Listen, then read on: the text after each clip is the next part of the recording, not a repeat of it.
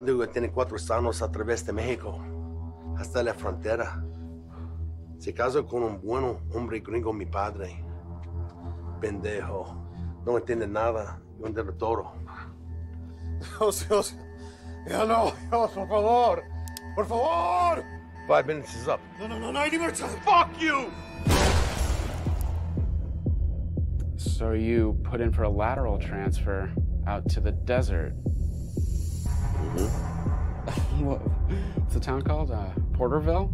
The word around is Charlie's real fucked up and crazy and shit. He was supposed to set me up on this deal. It was supposed to be like simple, like in and out. You owes me forty-five thousand dollars. You're not from around here, are you, son?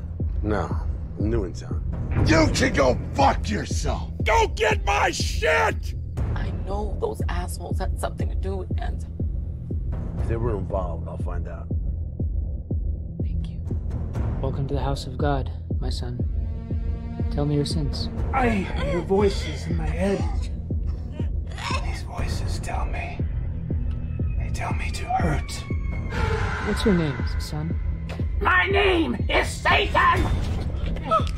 You're gonna finish when I finish my beer! John Rolanton's body be dumped on the side of the highway. Issues about a drug deal gone wrong. You have to get this guy. Michael, are you sure about this? Yes. It's real important I find this person. I think he's a drifter. He's not from Porterville, I know that.